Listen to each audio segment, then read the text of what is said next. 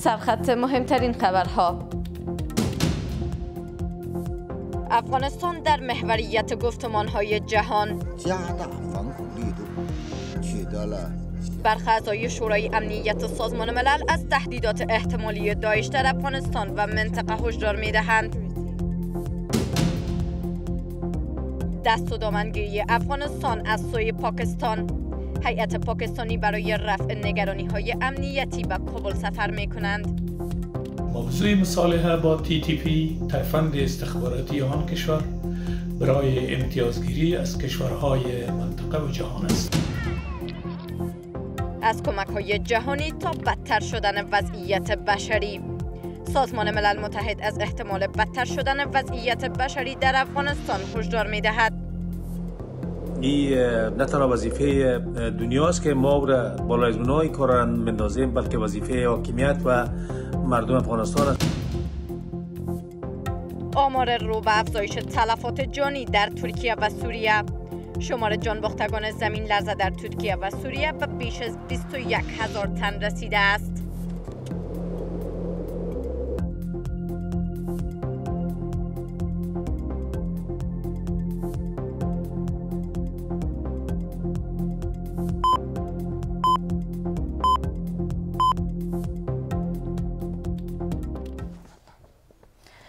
سلام و وقت در شما بخیر به مجموعه خبری این ساعت. با من طیب سریقی از یک خوش آمدید. امروز شنبه برابر است با 22 دلو سال 1401 خورشیدی مشروع خبرها. برخی از کشورهای عضو شورای امنیت سازمان ملل متحد از گسترش حراس افغانی در افغانستان و تهدید احتمالی داعش در منطقه و جهان هشدار دادند. با این حال نماینده دایمی چین در نشست پنجشنبه شورای امنیت سازمان ملل گفته که داعش در حال برگشت به افغانستان و منطقه است. نماینده دایمی فرانسه در سازمان ملل متحد هم در این نشست گفته که گزارش های تایید شده وجود دارد که گروه های حراس افغان یک بار دیگر ریشه های خود را در افغانستان گسترش دادند. همزمان نماینده امارات متحده عربی هم در این نشست گفته که تبلیغات غیرقانونی گروه های حراس افغانی در افغانستان به زبان های محلی و منطقه‌ای پخش می شود این همه در حال است که امارت اسلامی بارها تاکید کرده که گروه های حراس افغان و ویژه داعش را در کشور سرکوب کردند هشدار برخی کشورهای عضو شورای امنیت سازمان ملل از گسترش حراس افغانی در افغانستان. برخی کشورهای عضو شورای امنیت سازمان ملل متحد در آخرین نشست این سازمان که در رابطه با تهدید احتمالی داعش به منطقه و جهان راه اندازی شده است از گسترش حراس افغانی در افغانستان و تهدید احتمالی داعش در منطقه و جهان هشدار دادند. ژانگ جون نماینده دائمی چین در این نشست گفته که داعش در حال برگشت به افغانستان و منطقه است.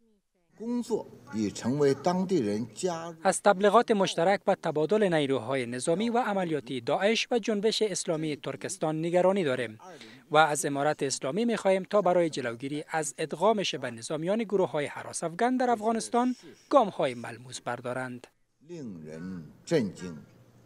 اگر جهان واقعا عزم برای مبارزه با تروریسم در افغانستان دارن اینا باید اینجا در این قسمت سرمایه گذاری بکنه و امکانات لازمه در اختیار حکومت افغانستان قرار بده ماننده که به حکومت گذشته چنین امکانات داده می‌شد همزمان نماینده امارات متحده عربی هم در این نشست گفته که تبلیغات غیر قانونی گروه های حراس افغانی در افغانستان به زبان های محلی و منطقه‌ای پخش می شود. در افغانستان تبلیغات نادرست شاخه خراسان داعش به زبانهای محلی برای جذب افراد بیشتر پخش می شود. ما باید در پاسخ به این تهدید در حال تحول هوشیار باشیم و اطمینان حاصل کنیم که پیام های جایگزین قبل از تبلیغات به مردم برسد. در همین حال نیکولا دیرویر نماینده دائمی فرانسه در سازمان ملل متحد هم در این نشست گفته که گزارش های تایید شده وجود دارد که گروه های حراس افغان یک بار دیگر ریشه های خود را در افغانستان گسترش دادند. نماینده فرانسه خواستار از بین بردن منبع های مالی گروه های حراس افغان و اقدام عملی در برابر آنها شده است. گروه خراسان داعش نه تنها در افغانستان هنوز هم یک خطر جدی است بلکه به کشورهای منطقه و فرامنطقه هم یک خطر محسوب می شوند غرض جلوگیری و گسترش تقویت ظرفیت های گروه داعش خصوصا شاخه خروسان داعش در آسیای میانه و افغانستان به یک هماهنگی و اجماع منطقوی و فرامنطقوی نیاز مبرم است. در این میان نماینده ژاپن نیز در شورای امنیت سازمان ملل متحد می‌گوید که کشورش نگران فعالیت های داعش در افغانستان است. این همه در حال است که امارات اسلامی بارها تاکید کرده که گروه های حراس افغان به ویژه داعش را در کشور سرکوب کردند پاکستان به زودی یک هیئت بلند پایه را برای دیدار و گفتگو با رهبران امارت اسلامی افغانستان به کابل میفرستد. روزنامه بزنس ریکاردر در, گزار... در گزارش گفته است که قرار است یک هیئت بلند پایه متشکل از نهادهای امنیتی استخبارات وزارت امور خارجه و روحانیون برای دیدار و گفتگو در مورد تداوم دخالت های شبه نظامیان مستقر در افغانستان با رهبری امارت اسلامی وارد کابل شوند. زمان دقیق این سفر مشخص نشده اما همکاری در امر مبارزه با حراس افغانی همکاری برای مهار تحریک طالبان پاکستانی و چالش های مرزی میان کابل و اسلام آباد از هدف های سفر هیئت پاکستانی به کابل گفته شده است. امارت اسلامی اما در مورد سفر هیئت پاکستانی تا حال چیز نگفته است. اما آگاهان باور دارند که پاکستان با هدفهای دراز مدت منطقه‌ای به دنبال خواسته های منافع جویانه خود در افغانستان است و سفر این هیئت روی هدفها و منفعتهای پاکستان انجام می شود جزئیات بیشتر از قسیم عزیزی. افغانستان از عمق استراتژیک تا عقبه تهدیدآمیز. اسلام آباد برای رفع نگرانی های امنیتی دست و دامان کابل را گرفته است. روزنامه بزنس رکوردر در تازه ترین گزارش خود گفته است که یک هیئت بلندپایه پاکستانی متشکل از نهادهای امنیتی، استخبارات، امور خارجه و روحانیون جهت دیدار و رفع نگرانی های امنیتی از حضور شبه نظامیان در خاک افغانستان به کابل می آیند. طبق گزارش این رسانه پاکستانی هدف سفر این هیئت دیدار با رهبری امارت اسلامی افغانستان در مورد رفع نگرانی های ناشی از تهدیدهای امنیتی و فعالیت گروه های حراس افغان در خاک افغانستان است. منابع متعدد در اسلام آباد در مورد دستور کار این گفتگوها تاکید کردند که تلاش با دولت افغانستان برای بازگرداندن تحریک طالبان پاکستانی به میز مذاکره برای اثرگیری مذاکرات صلح و تبادل نظر در مورد موضوعات دیگر انجام می شود. هیئت امنیتی و دیپلماتیکی پاکستان مطابق روحیه عمق استراتژی آن کشور به افغانستان میآیند موضوع مصالحه با تی تی پی تایفند استخباراتی آن کشور برای امتیازگیری از کشورهای منطقه و جهان است.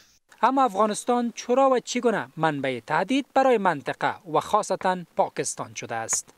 تشدید حملات تحریک طالبان پاکستانی بر شهرهای مختلف پاکستان نگرانی های امنیتی پاکستانی ها را برانگیخته است. بنابراین پاکستانی ها از روابط مستحکم تحریک طالبان پاکستانی و طالبان افغان آگاه هستند. بنابراین کوشش می‌کنند تا توسط طالبان افغان طالبان پاکستانی را به میز مذاکره بکشانند از یک طرف زمین گفتگو را مساعد بسازند و از طرف دیگر از بیشتر شدن حملات تحریک طالبان پاکستانی در این کشور. جلوگیری کنند. بنان این سفر می‌تونه بیشتر یک سفر امنیتی باشه. پاکستان کشور است که سالها متهم به پشتیبانی از بی‌ثباتی های سیاسی امنیتی افغانستان بوده است و برخی ها باورمند هستند که ثبات و بی‌ثباتی های افغانستان بستگی به سیاست های منصفانه پاکستان دارد. پاکستان غواړي چې د بین المللي ټولنې خواخوږي او همدردي هم ترلاسه کړي او جهانیانو ته دا وشوي چې اصلي مشکل په افغانستان کې دی. او دوی د تروریزم قرباني دي او دنیا باید د دوی سره کومک وکړي څو د تروریزم مخه ونیسي او په دې مخنیوي کې دوی د دنیا د پاره هم د دنیا سره هم کومک کوي.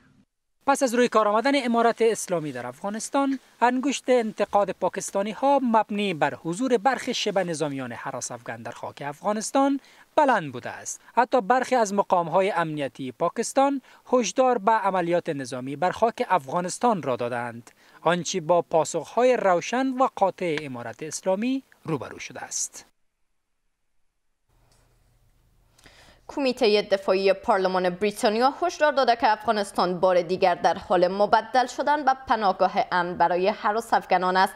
کمیته دفاعی پارلمان بریتانیا در تازه ترین گزارش خواستار بررسی واضح صادقانه و با جزئیات درباره حضور نظامی این کشور در افغانستان شده است.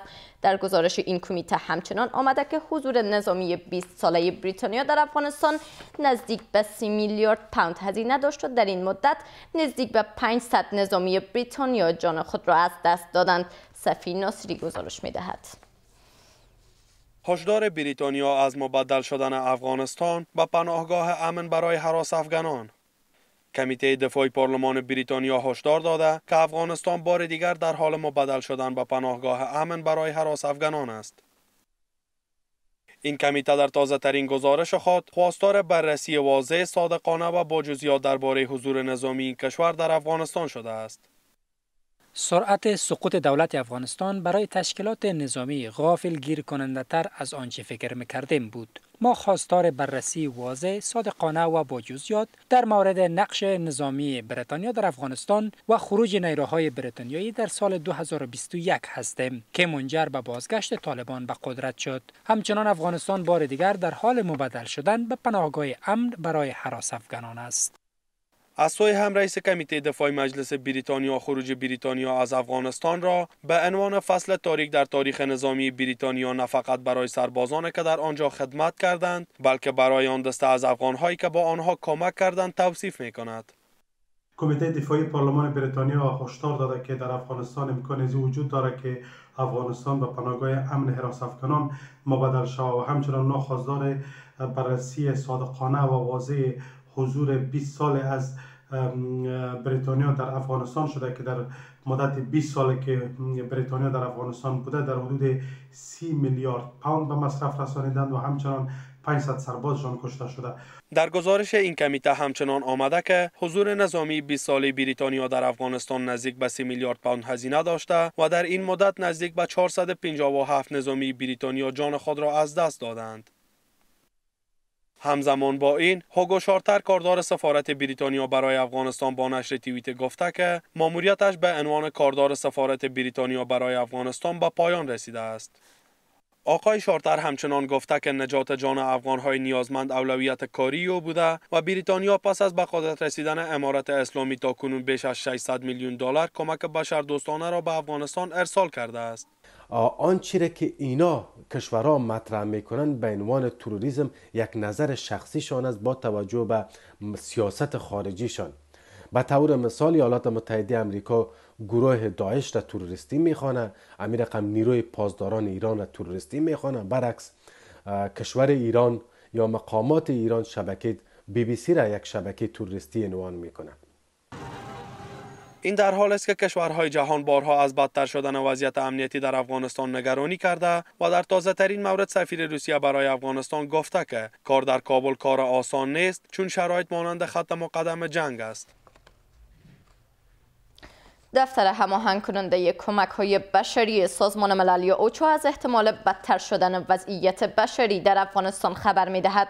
اوچو در توییت به طرح بشر دوستانه چهار ممیز 6 میلیارد دلاری برای افغانستان اشاره کرده و گفته که این رقم بزرگترین فعالیت بشر دوستانه این سازمان در سطح جهان به شمار می رود. همزمان با این صندوق کودکان ملل متحد یونسف در تازه ترین گزارش خود گفته که به بیش از 18 میلیون تن در افغانستان کمک های بشر دوستانه صورت گرفته است. این نهاد در توییت گفته که وضعیت افغانستان همچنان یکی از بدترین بحران ها در جهان باقی مانده است. همیرا یوسفی با جزئیات بیشتر. نگرانی ها از بدتر شدن وضعیت بشری در افغانستان.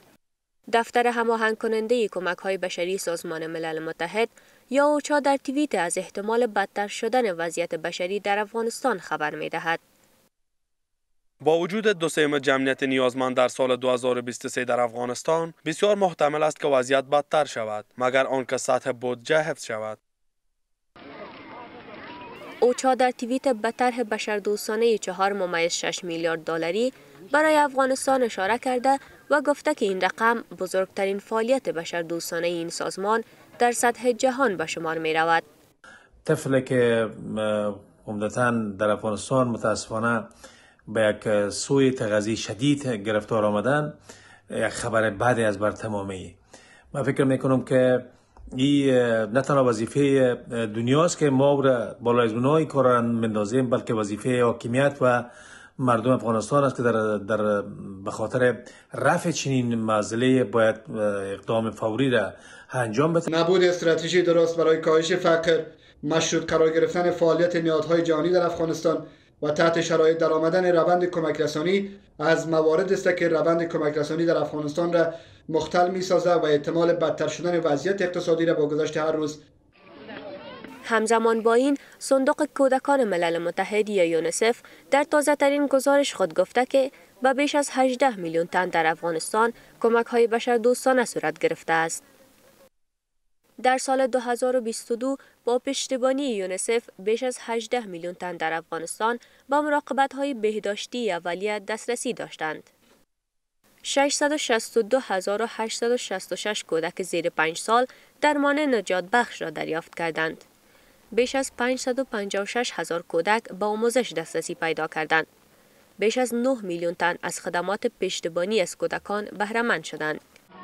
این در حال است که کمیته جهانی صلیب سرخ پیش از این گفته بود در حال حاضر بیش از 24 میلیون تن در افغانستان به کمک های بشر دوستانه نیاز دارند که از این میان 20 میلیون آن با مشکل جدی امنیت غذایی و 4 ممیز 7 میلیون تن دیگر با کمبود شدید مواد غذایی روبروند. شمار تلفات زمین لرزه ترکیه و سوریه از 25 هزار تن گذشت.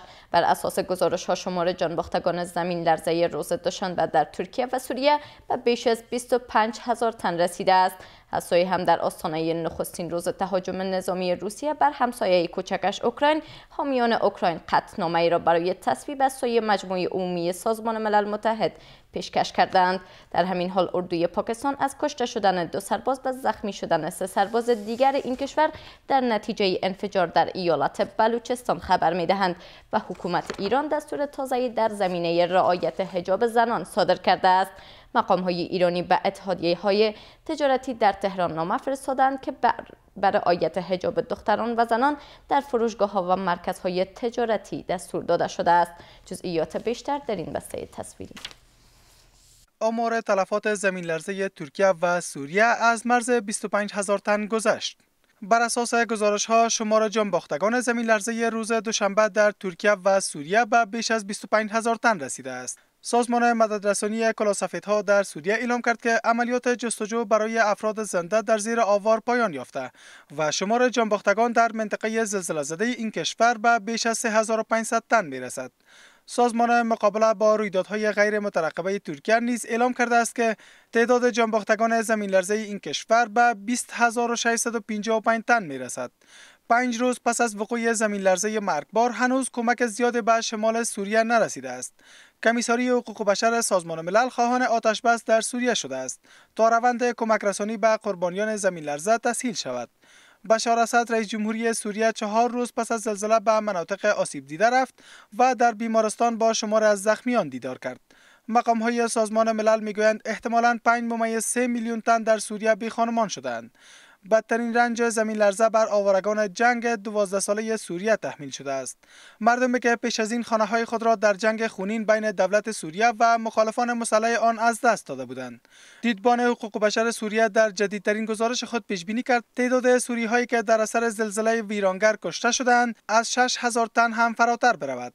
بر بنیاد این گزارش اهالی ها روستا از جمله 21 روستا در منطقه تحت کنترل رژیم اسد در حومه شرقی ادلب بستگان خود را که در اثر زمین لرزه کشته شده بودند حتی قبل از رسیدن تیم‌های مددرسانی به این روستاها دفن کردند بیمارستان ها در سراسر سوریه با ظرفیت کامل کار می کنند و ساکنان منطقه های گوناگون در شمال سوریه خودشان در عملیات امداد و نجات برای بازیابی افراد محبوس شده در زیر آوار مشارکت دارند. زیرا به گفته دیدبان حقوق بشر سوریه هیچ وسیله حفاری ماشینالات یا تیم امدادی به این منطقه اعزام نشده است. قطنامه جدید به پشتیبانی از اوکراین پیشکش شد.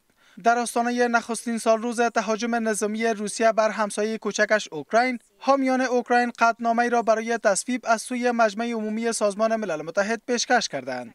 خبرگزاری اسوسییتد پرس گزارش داده است که در این قطعنامه که روز گذشته در دسترس قرار گرفته است بر نیاز برقراری صلح در اوکراین تاکید شده است که حاکمیت استقلال وحدت و تمامیت ارزیش را تضمین کند قرار است که شورای امنیت سازمان ملل متحد در 24 ماه فوریه نخستین سال روز تهاجم روسیه بر اوکراین نشسته را برگزار کند.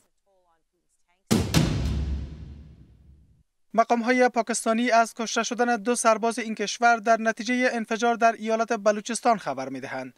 بر اساس گزارش ها در انفجار روز جمعه که در منطقه بلوچستان رخ داد، سه نظامی دیگر هم زخم برداشتند. در اعلامیه اردوی پاکستان آمده که دو تن از کشته شده ها جگرن های نظامی بودند جنگجویان جنبش آزادیخواه بلوچستان چند ساعت پس از انفجار مسئولیت رویداد را پذیرفتند.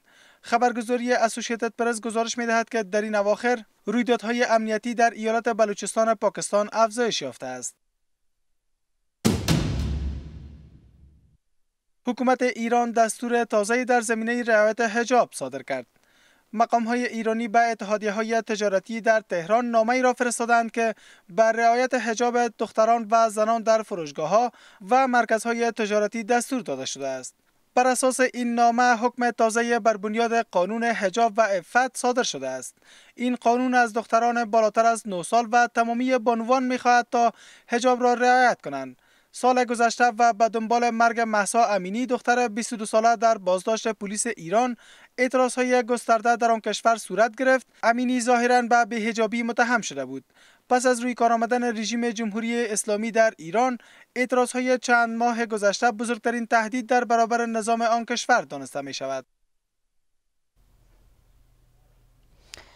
اکنون هم آب هوای کابل و چند ولایت دیگر و نرخ اسعار خارجی در برابر پول افغانی.